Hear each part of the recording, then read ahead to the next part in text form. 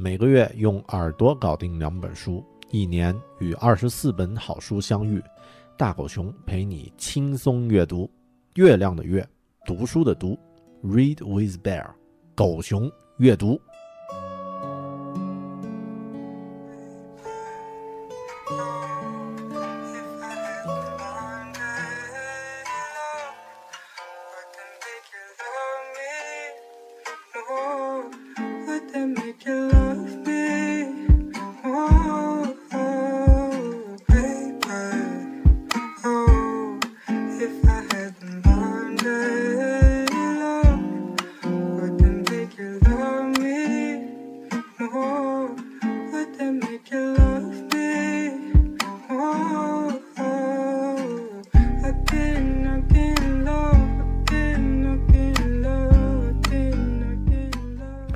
Hello，你好，这里是分享好书的网络读书空间——狗熊阅读 （Read with Bear），我是说书人大狗熊。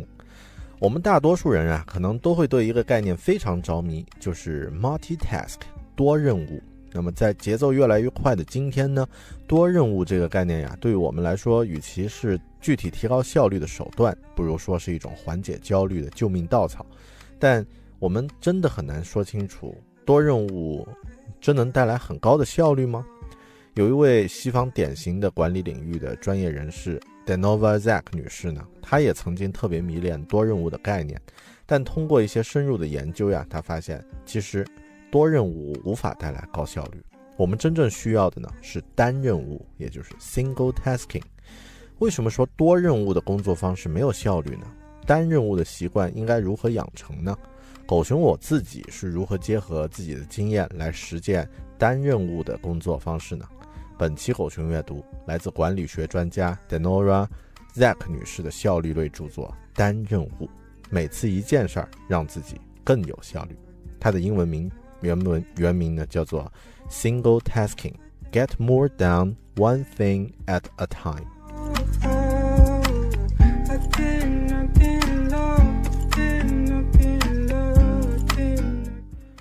这本书主要能对你有什么帮助呢？通过书里的知识。可以帮助你变得更少压力，而且更加专注，并且能够完成更多的事情。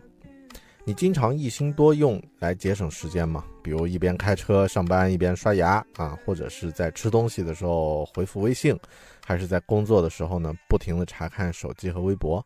在这个节奏很快的时代呀，信息爆炸之后呢，多任务并行似乎是你忙碌生活的救星，但事实其实并非如此。多任务呢，会让你变得更有压力，无法专注，无法集中注意力，最终呢，导致你什么都做不好。同时呢，它也会损害你的身体。那么你应该怎么去做呢？你应该学会一次只做一件事情，仅仅只是一件事儿，不发微信，不刷 Facebook，不玩 Twitter，不玩呃朋友圈等等等等，只是专注于手头的任务。这说起来容易，做起来会难。但这期节目呢，会给你一些有用的小技巧，让你开始崭新的、压力更小的以及更有成效的生活。那么在这期节目里面呢，你会学到啊，为什么多任务行行为每年会消耗美国人纳税人的几十亿美元的这个支出？那么另外呢，是我们的大脑为什么不是天生的多任务处理模式，以及如何去面对喋喋不休的同事的干扰？那么让我们。先来简单介绍一下这本书作者和他的故事和经历，然后呢，我们就正式开始了。本书作者 Denova Zack 女士啊，是一位美国的领导力培养培训的专家。那么她毕业于宾夕法尼亚州的传啊宾夕法尼亚州大学的这个传播传播专业，呃，之后呢，她以研究学者的身份拿到了全额奖学金。之后呢，又在康奈尔大学读完了 MBA。他也是学术团体叫 pai 贝塔卡帕，还有高智商人士的团队俱乐部啊门萨俱乐部的会员。目前呢，他以管理专家和顾问的身份呢，给很多企业做培训。他写过关于人际关系拓展啊、管理等一呃等方面的一些书啊，像是我们这期思维导图里面也会把他的著作列出来啊，像 Networking 啊，还有这个。Management 呀，这这些呃，这个涉及到管理和这个人际关系的一些一些著作那么这本 Single Tasking 是聚焦于个人效率管理还有幸福感的著作，目前还没有中文版啊，所以收听节目的朋友们呢，可以听到，呃，关于这本书原汁原味内内容的这个精华分享。坦白说呀，这本书我个人觉得在阐述专注的重要作用方面呢，并不算是写的最好的，但其中的确有。很多啊，一些值得我们意识到，并且应该去刻意练习完善的原则。所以呢，这期狗熊阅读在推荐这本书的同时呢，我也会结合其内容，讲一讲我自己的一些心得和感受。OK，那么就废话不多说，让我们开始具体这本书精华内容的分享吧。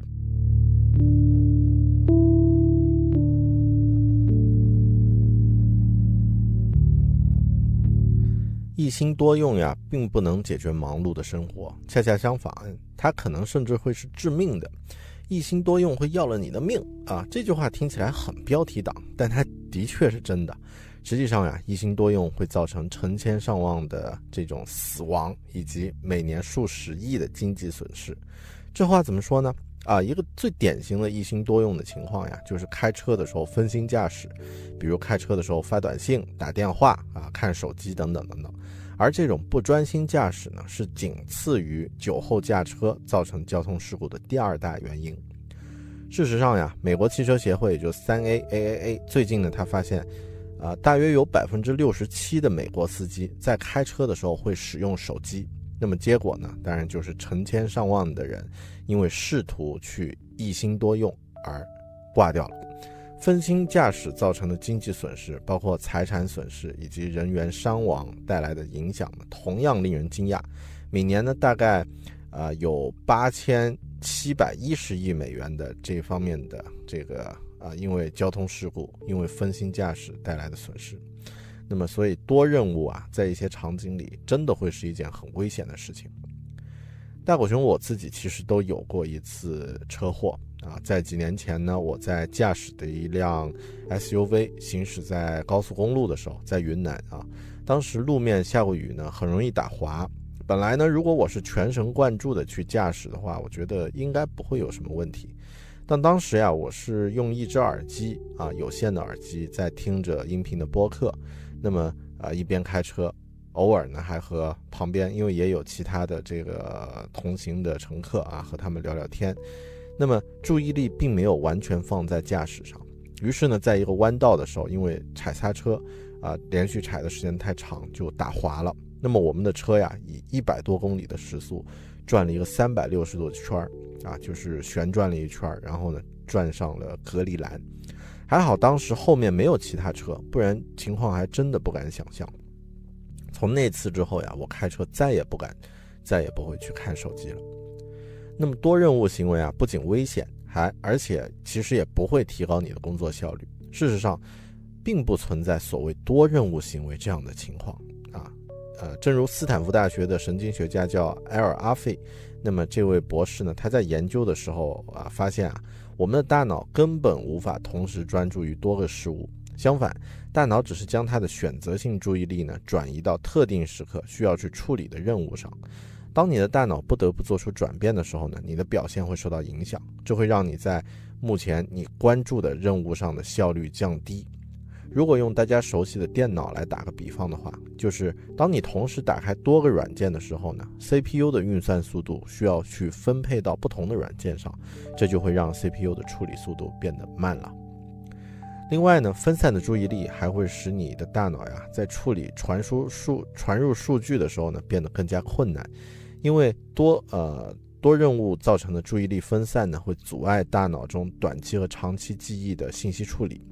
哈佛大学在二零一一年进行的一项研究呢，证实了这一点。这项研究考察了多任务行为还有学业成绩之间的关系。那么研究结果呢，表明我们的认知功能，特别是在我们的记忆中，多任务行为的时候，多问多任务的这个过程中呢，会受到很大的限制和影响。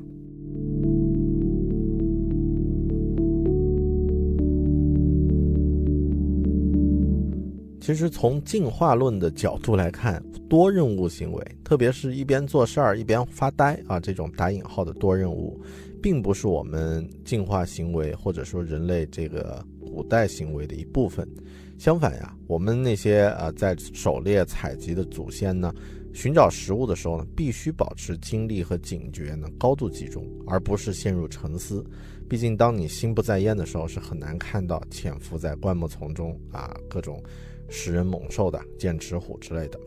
或者这么说呀，在古代喜欢走神的人呢，都已经被大自然给消灭了。如果如果我们现代人这种三心二意的状态回到古代呢，估计撑不了几个钟头就会挂掉。多任务行为呢，不仅与我们的演进过程相悖，同时呢，它也会损害大脑。当你同时进行的任务太多的时候呢，持续的过度刺激和带来的压力，会导致大脑前额皮质的灰质部分，也就是大脑中负责复杂思维的部部分呢，会萎缩。所以啊，这个多任务就像一个啊过度使用的弹簧，可能会让你的大脑的这个运算速度和能力呢变慢，变得不再适应去思考复杂的东西。此外，当你尝试一次做一大堆事情啊，比如在吃冰淇淋的时候，同时去写作业啊，同时和朋友打电话，又看着电呃电视上的新闻，那么这个时候呀，你的大脑会释放出一种叫做皮质醇的应激激素，这种激素呢会降低你高效完成任何事物、专心去做一件任务的能力，还会使大脑中啊负责这个工作负荷的。呃，神经元呢，因为工作负荷过重会变得退化。那么这两个影响，一是灰质萎缩，还有神经元退化，会导致什么呢？最直观的影响就是你很难再去集中长时间的注意力去考虑一些复杂的问题，或者是去阅读一些艰深的专业著作了。现在很多朋友都会反馈说：“哎呀，天天玩社交网络，天天玩微信、微博，怎么感觉已经无法去看一篇哪怕是一千多字的长文了？”一千多字其实根本不算长，对吧？那么，这就是因为我们的大脑中的灰质和神经元可能已经受到了物理上的伤害，啊，考虑这一点还是挺吓人的。而相比之下呢，单任务处理可以让你获得世界级的表现。只有当你完全专注于手头的任务的时候呢，你才能你才能进入到一种叫做 flow 心流的状态。那么这种状态是由世界著名的心理学家叫米哈里奇克森他定义的一种状态，也就是完全沉浸和专注的状态。举个例子啊，在2014年美国和比利时的足球比赛中呢，美国足球守门员叫做 Tim Howard，Tim Howard，那么他曾经经历过这种心流的状态，尽管他的球队输了，但 Howard 呢以破纪录的十六次扑救，打出了一场令人吃惊的比赛。他可以算是这场比赛中唯一的一个主角。那么，当被问及他这次呃怎么能做到这种令人难以置信的注意力集中的状态的时候呢，Howard 说：“哎呀，一旦这比赛的哨声响起的时候呢，其他的一切东西在我的脑海中，在我的眼中都消失了。那么别的什么都不重要了。他把所有的注意力都集中在他面前唯一的一项重要任务上，就是做好一个守门员。”这就是一个单任务带来的世界级的表现。说到这里啊，你可能已经看到了多任务行为呢，对你的健康还有生产效率而言呢，是很糟糕的一件事情。那么又有什么样的方法可以帮你战胜它呢？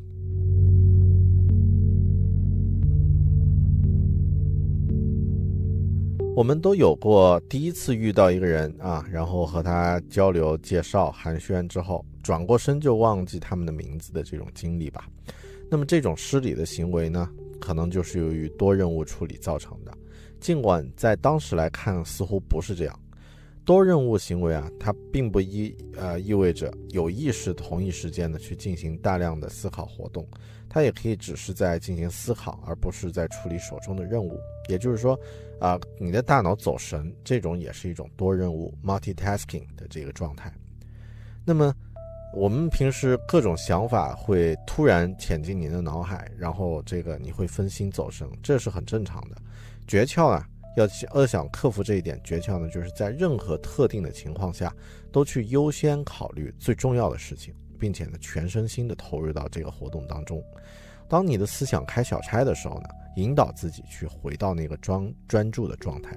即便是你试图去专注于重要的事情的时候呀，你也会发现，哎呀，很难停止思考其他的一些不重要的事情。比如说，当你在为哎呀要给老婆去买什么样的生日礼物去发愁的时候呢，突然可能你会哎，突然想到我同事昨天跟我说了一句话，让我很不爽，然后你的大脑就去想那件事儿了。那么这其实没没关系的，那么你需要做到的只是回到。手头的任务，然后呢，继续保持专注就行了。当你感觉哎呀头已经要爆炸了，然后各种各样的信息，然后又疲劳，然后又这个有各种各样的事项交织着的时候呢，你可以出去外面走一小段路，或者呢休息冥想一下，都是一种很好的解决方案。那么这是保持专注的一些诀窍啊。那么与保持专注同样重要的呢，是避免那些潜在的干扰。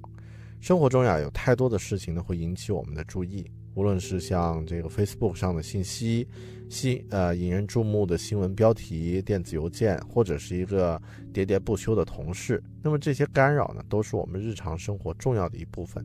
你可能需要一些创造力来防止这些干扰吸引你的注意力。那你可以试着把手机设置成飞行模式啊，或者呢关上你办公室的门啊，挂上一个我很忙的标志。或者呢，甚至可以在你的呃网页浏览器上添加一个自动屏蔽的插件，以防止你在工作的时间去刷微博啊、看 Instagram、Facebook 等其他这些，那会分散你注意力的网站。那么再来介绍一些可以帮助你专注于单个任务的技巧吧。啊，我们具体分享技巧，应该是大家都喜欢的。其中一个窍门呢是批处理，那么也就是将类似的活动和任务呢。组合到一个组中啊，然后呢，一次去做这些同样类型的任务，一般帮助你呢更有效的工作。为了有效的做到这一点呢，你必须首先确定哪些任务需要类似的方法来完成，然后呢把它们组合到一起。之后呢，你就为每一个任务、每一组任务呢设定一个时间块，计划在你的整个日程安排中呢，在哪个时间段去集中的展开完成它们了。举个例子啊。你可以将所有涉及需要去打电话的任务呢，放在一个三十分钟的时间块里面，然后在这之后呢，啊，做完所有打电话的事项呢，你可以去完成涉及到书写活动的时间块啊，比如说花再花一个小时写电子邮件啊，再花二啊半个小时写会议总结，最后呢，你可以去完成一些需要体力活动的时间块呢，来结束你的一天，比如是啊。整理花园呀，拔草呀，或者是外出去买点文具之类的东西啊，这些都是可以去交叉进行的时间段。那么其实，呃，我们在之前分享过的 Getting Things Done，也就是 GTD 的原则里面呢，就是给任务设置场景的方式呢来批量处理了。这个呢就不在这儿再展开来说了，大家可以去关注之前的那期 GTD 的节目。另外一种可以帮助你。变得更有效的方法呢，是全世界的医生都会常用的一种技巧，也就是在你的日程安排中呢，设置一段激动的时间作为缓冲区。有没有想过一件事儿啊？就是当你比如说得了一些小病，像是嗓子疼之类的，那么为什么一般情况下去预约医生的这个就诊需要很长的时间，等都要等这个好长时间，个把钟头都会有。但如果是紧急情况下的话，啊，你去医院啊，比如说你这个啊被刀捅了啊，那个流血不止，那么为什么医生总是可以马上就把你拉进手术室进行立即处理呢？那么这个例子当然可能仅限于国外啊，因为国内的医院我觉得其实相对来说就诊速度已经很快了，当然也有存在同样类似的问题。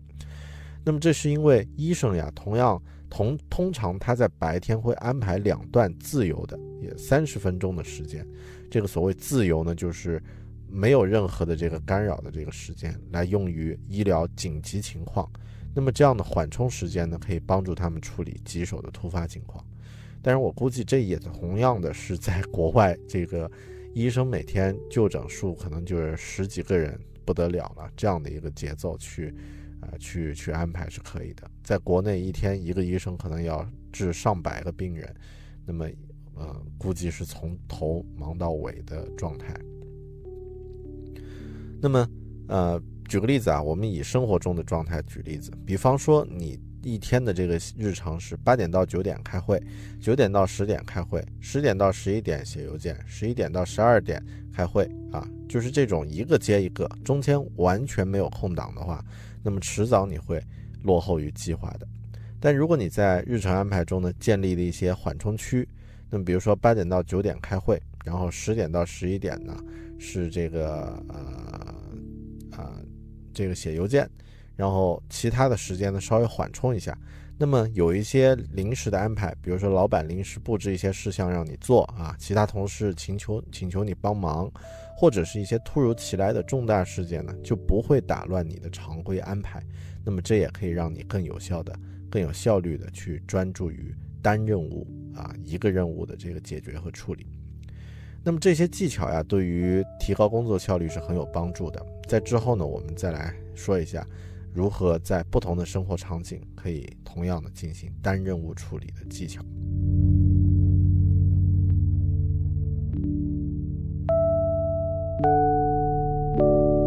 在上面的部分呢，我们分享了来自管理学专家 Devora Zack 女士的效率类著作《单任务》，每次一件事儿，让自己更有效率。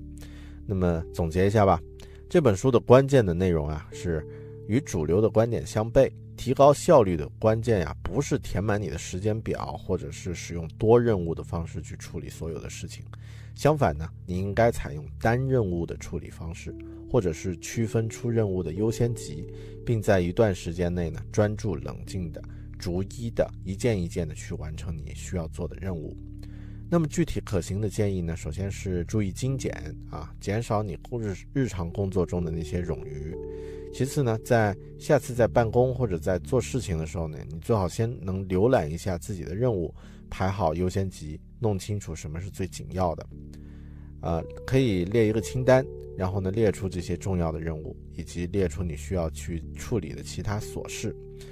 通过减少冗余，还有保持专注呢，你可以很有效的提高自己的工作质量。那么，狗熊也建议大家呀，如果对单任务这个概念感兴趣的话呢，可以选择进一步阅读的话，啊，读一下史蒂芬盖斯叫 Stephen Grace 的《微习惯 Mini Habits》这本书啊。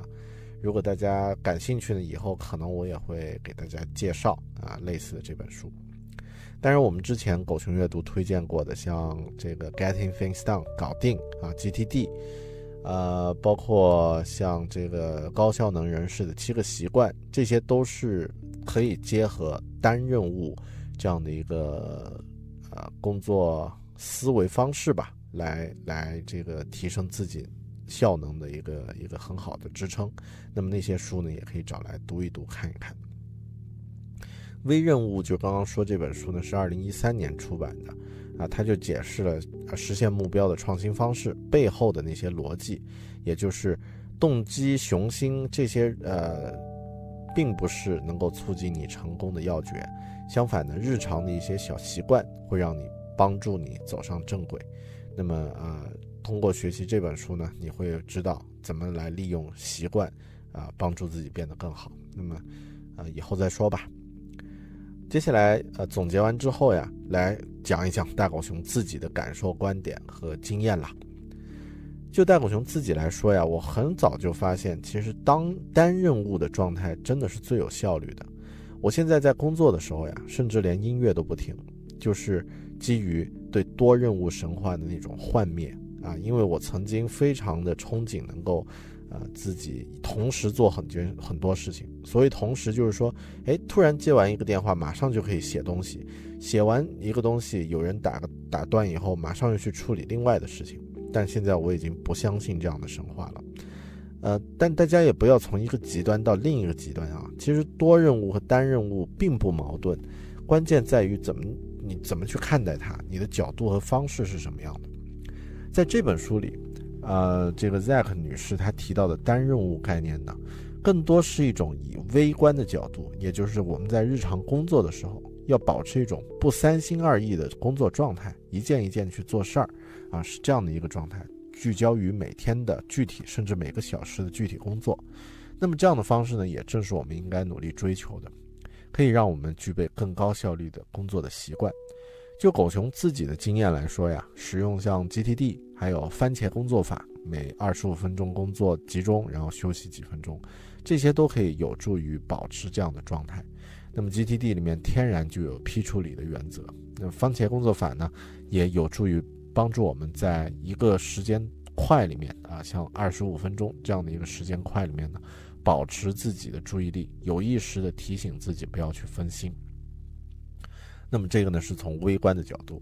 但从宏观的角度呀，我们根本无法避免多任务。别的不说，目前现在现代人每个人的身份和状态都是多任务的。比如说你在工作的时候，可能是一个新媒体的运营人员，有一个小编的身份；在生活中呢，你可能是一个父亲，啊，同时呢也可能是一个游戏战队里的活跃分子，还可能是某一个爱好者群体的一个组织者。那么都有不同的身份。我们的生活和工作本身就是多个任务同时进行的。那么单任务啊，更多是在处理阶段性聚焦啊，呃，就是他提倡的是，在那个阶段，在一个短的时间段内呢，聚焦于一件事儿上。当某件事儿已经处理到一个阶段内完成的状态，将进入到下一个阶段的程度啊，可能他等待着评估，或者是已经告一段落了，或要搁置一段时间，或者呢需要。重新再审视你需要投入的精力什么的，那么就是他即将投入下一个阶段的时候，这个时候呀，你就可以切换到其他的事项来进行了。就像我们呃在狗熊有话说的播客里面曾经讲过，呃，复联的导演叫 Joss Whedon，他就是在指导呃吸血鬼 Buffy 这部美剧的休假的两周时间内呢，就写了部。另外美剧的剧本，那么它不并不是说这个所有的事情都是一件一件这个，呃，做完一件再去做另外一另外一件的，它只是在中间的空档，就是在那个阶段那两个星期内呢，集中注意力去写了另外一部美剧《萤火虫》的这个剧本。那么之后呢，他就可以啊，在下一个阶段再去做呃推具体继续的推进，而不是说啊他。那真的是那种完全的聚焦于一个任务，这部电视剧彻底拍完，中间什么都不干，并不是这样的。那么狗熊自己的经验呀是这样的：你需要找到自己在同一周期内可以并行处理的项目最多有多少，你的上限是多少，然后最好给自己再留出百分之二十的缓冲时间，再结合 GTD 之类的管理方法呢，优化好具体做事时候的那个聚焦的状态。优先级很重要，甚至你需要去降低一些事项的质量标准，先保证去完成。比如我之前工作的时候啊，在最忙的时候呢，曾经有三个啊 App 的这个设计项目和这个项啊产品呃控制呢同步进行，然后同时呢，我自己还有每周要更新的播客节目在做啊，还不用说家庭生活需要去兼顾了。那么在这种情况下呀，我就发现啊，我只能平均有。一个小时左右的时间呢，花在播客节目的制作上，啊，每周一个小时左右。于是呢，我就集中在一周的某一天，一个上午不忙的时候呢，制作出两至三期节目，然后呢，同时也做好了排版和节目说明，甚至上传好啊，设置好定时发布。这样，这样的话，一个上午呢，我就将一个单任务进行了一次阶段性的完成。那么其他的时间我就安排在我的那个呃日常的这个呃 app 的这个项目工作上，啊，那么这些是我可以呃需要去集中集中呃状态聚焦的呃一些事项，那么这个呢是我的个人的经验了，所以啊，如果你慢慢的习惯于每次只是聚焦在一件事情上的时候，去集中去做那一件事儿的时候呢，你可能会很容易进入到上面提到的心流啊 flow。这种工作的状态中，在那种状态下呀，工作的效能会有本质的提高，时间会过得非常快，啊，然后你真的会感觉到仿佛所有的事情都不存在了。我曾经有过几次进入到啊 flow 心流状态工作的那种呃那种体验，坦白说，真的是一种享受啊，真的你能够沉浸在事物之中的感觉。关于心流概念的分享呢，我们会在之后的狗熊阅读节目里呢，详细和大家进行介绍。OK，到这里这期节目也就要结束了。希望您也可以受到这期节目的启发，结合自己的工作与生活，实践一下如何每次只做一件事儿，让自己更有效率。欢迎您把自己的故事和我分享，也别忘了可以在啊微信公众号“狗熊有话说”或者是新浪微博“爱大狗熊”，或者在啊这个“狗熊有话说”的播客官网 “voice v o i c e 点 bear talking 点 com 啊点 com 啊，sorry 点 com，bear talking 点 com 来和我互动。那么，更多关于狗熊阅读会员信息啊，会员节目的信息呢，可以在狗熊阅读的官网 readwithbear 点 com 去查询。OK，这期节目就到这里，我们下本书里再见，拜拜。